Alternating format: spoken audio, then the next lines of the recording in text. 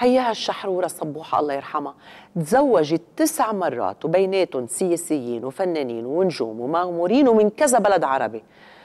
بس لا طلعت نكرت جميل جمهور أو بلد ولا خسرت من قيمتها الفنية بسبب كثرة زيجاتها لأنه عرفت تفصل بين الفن وبين حياتها الخاصة.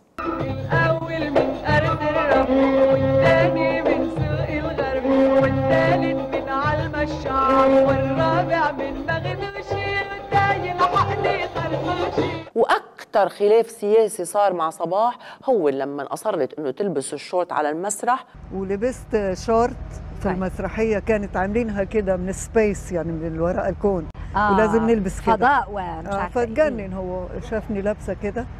بعت لي ورقة الطلاق. هو بقى مش أنا. الشيء اللي تسبب بمشكل ميثاقي مع نائب الثنائي الشيعي بالسبعينيات جو حمود.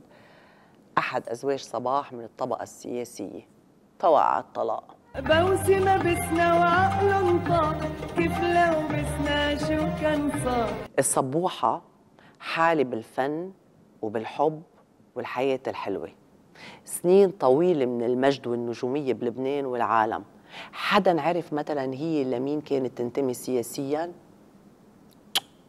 أبدا. غنت لبنان كل لبنان وقالت له دخل ترابك بتفكرك كل الطوائف مجموعة فيها وما بنهار وبعز الحرب الأهلية كانت تعطي إشارة لأي انتماء سياسي. يا لبنان دخل حجار عاشت لكل الوطن وقدمت لوحة أسطورية عن حب بلادها بكل أبنائه. فهل المطلوب من الفنان أنه يكشف مواقفه السياسية؟ فنه والمادة الحلوة اللي بقدمها هن أهم موقف بيتغلب على كل الأحزاب والتيارات والمحاور. وعلى نفس أهمية مسار الشحرورة في جمهورية فيروز أو المملكة الفنية اللي كتب لها الرحابني وسعيد عقل أغنيات لكتير من الدول العربية وشعوبها.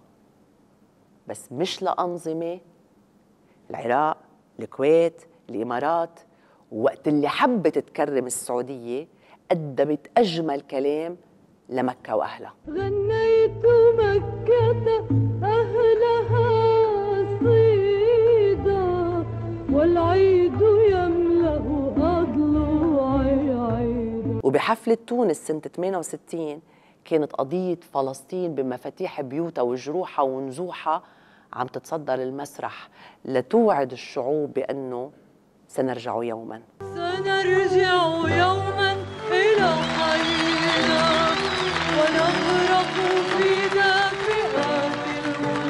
حتى لما كانت تزور أمريكا وأوروبا كانت فيروز تحرص على حمل قضية بلدها لعواصم العالم وتقول لباريس يا ذهب الحرية لبنان بعتلك بقلبي سلام ومحبة. باريس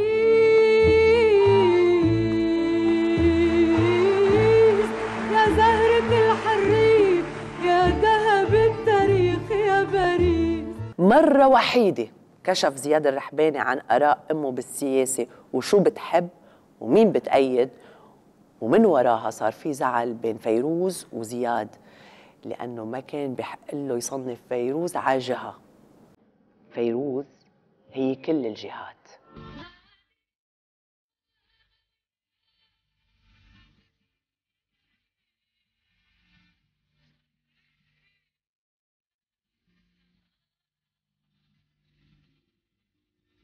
فيا أيها الفنانين إذا عندكم رأي وطني وبتعرفوا تظهروه من دون التسبب بخسائر للأمة وللجماهير تفضلوا قولوه.